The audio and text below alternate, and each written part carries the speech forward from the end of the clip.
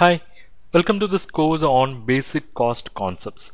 In this course, we will understand what is cost, then we'll also try to understand what is cost accounting and cost accountancy and the basic concepts which are revolving around cost.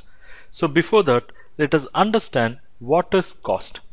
Cost is nothing but an expenditure incurred in producing a product that is from the manufacturer point of view or incurred in rendering a service.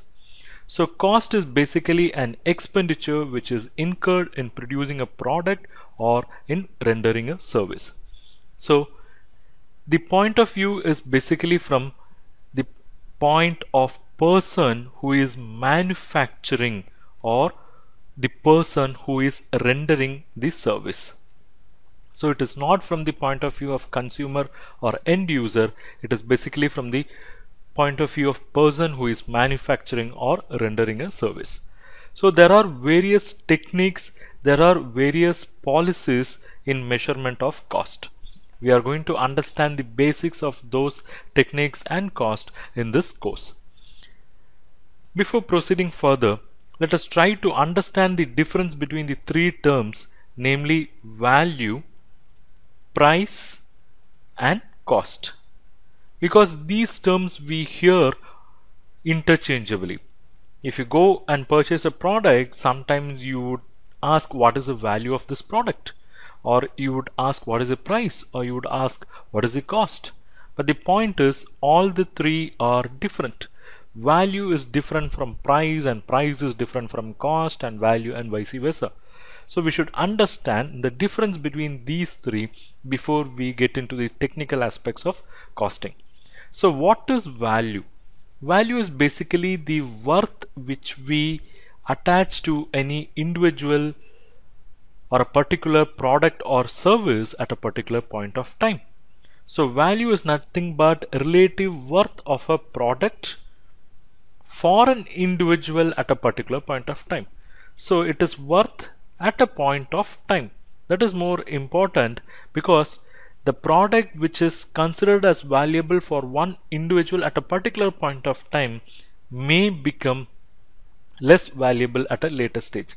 Say for example, you are urgently in need of blood for some surgery and that blood if it is not available anywhere in the market then you would be willing to pay any price to the person who gets you that blood.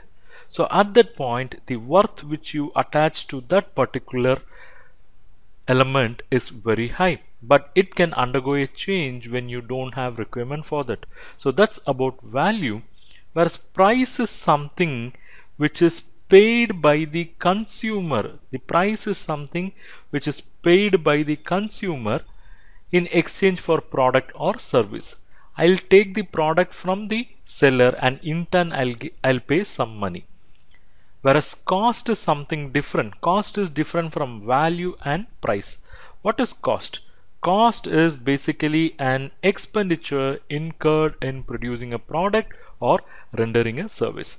So here all the three has a different point of views. Value is always from the user point of view whereas price is from consumer point of view and cost is always from the point of view of the person who produces or renders the service.